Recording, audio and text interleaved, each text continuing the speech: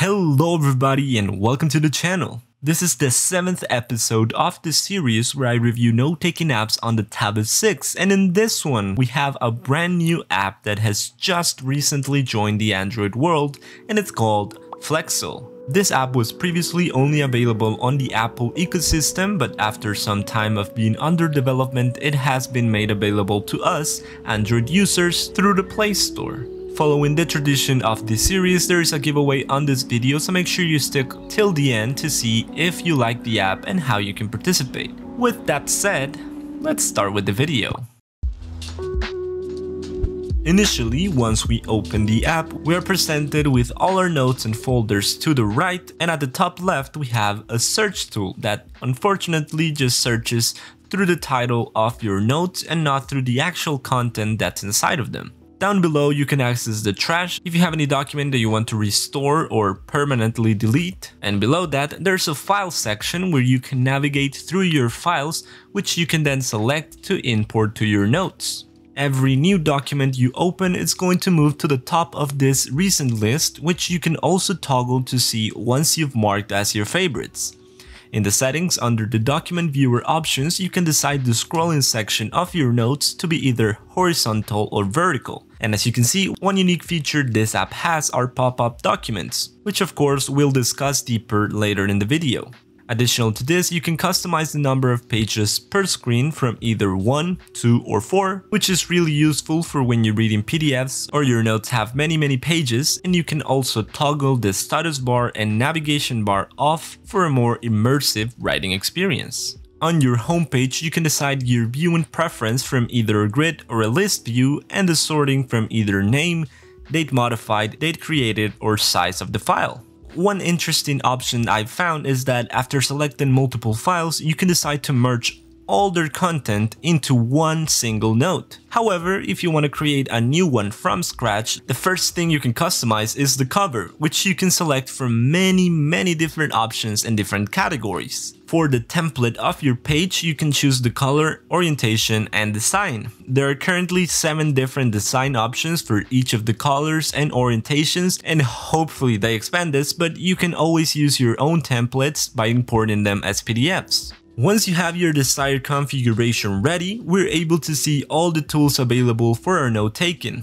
Starting with the tab at the top of the screen, which you can use to navigate through all the notes you've previously opened. All the way to the right, you can see each of the files in more detail as well as choose to close them individually all of them or hide the tab bar. On top of this useful tab bar, we have our writing tools. If you press and hold it, you can dismount it for an easier access as well as rotate it for you to choose if you want it vertical or horizontal. There are three different pen options, two of them are actually writing tools and the other one is a highlighter. The difference between these two writing tools is that the second one has pressure sensitivity unlike the first one which performs the same under all conditions. On the customization options, you can change the pen thickness from 0.1 all the way to 20, which is actually a wide range for pen thickness and I'm sure it's going to be helpful for a lot of people. You can also set the pen to only draw straight lines and configure its color from some predefined ones. Also, when customizing the highlighter, you're going to get 20 more levels of thickness and there's going to be an extra option for configuring the ink opacity. The pens you create are going to be stored on the toolbar. You can create as many as you want, which you can then access by sliding through it to see all your pens and highlighters. Next to this, we have the eraser, which has some customization options of its own. You can decide the thickness from an even wider range going from 0.1 to 50 50 pixels. You can also toggle if you wanted to erase only your pen input,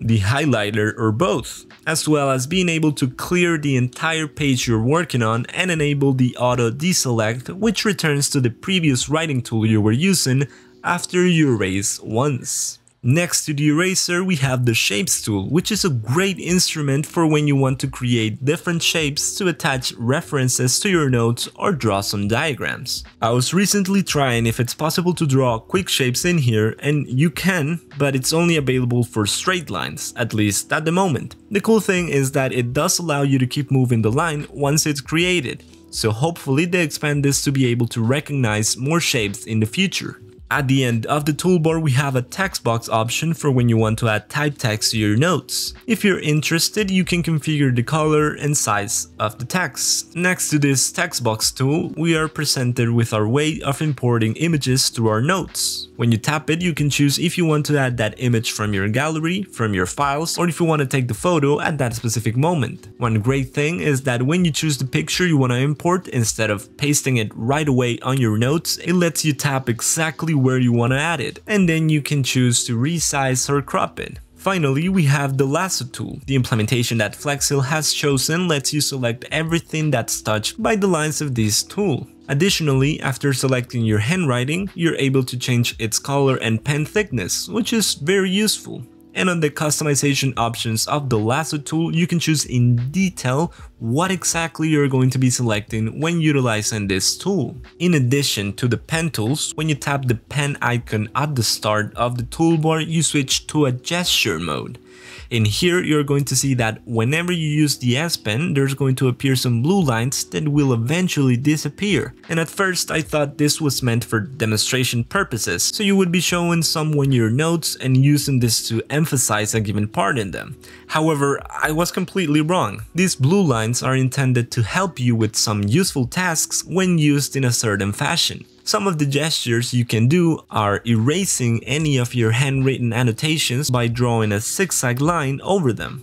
You can capture an image from your notes by creating a box or drawing an L over the area you want to capture. This has been incredibly useful for when I have to do homework and I want to copy a problem to a new page. Also, if you draw a circle over your annotation, it's like you made use of a lasso tool. And a neat thing that they thought of is that when you've selected a portion that has different types of input, there are going to be toggle options for you to be able to select which groups you want to include in your selection and which ones you don't want. Finally, there are some gestures to help you deal with typed text, for when you want to select a small or a big piece of your text, or if you want to underline some of it to make it stand out. Now, if we move to the top of the screen, we have some tools that enhance our note-taking experience. If you don't want to see them, you can always tap the icon at the center to make it disappear. You can tap it one more time to also minimize the pen toolbar and tap it once more to go back to the initial state.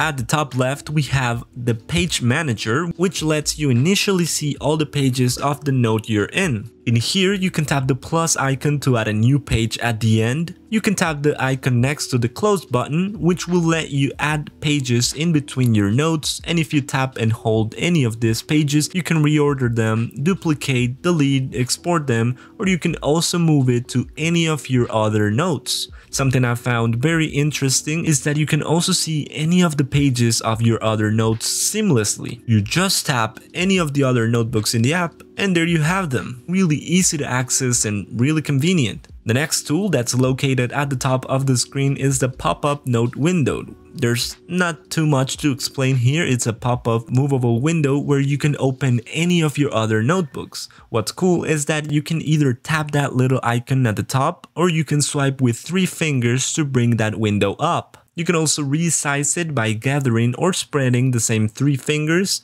and if you want to close it, you can swipe down again with those three fingers. Now that we've mentioned these gestures, you can also double tap the screen with two fingers to undo or with three to redo, which let me tell you is, once again, very convenient. If we move to the right portion of the toolbar, we have a search tool that unfortunately at the moment has no support for your handwritten notes. You can just search through the typed text or through the content of your PDFs.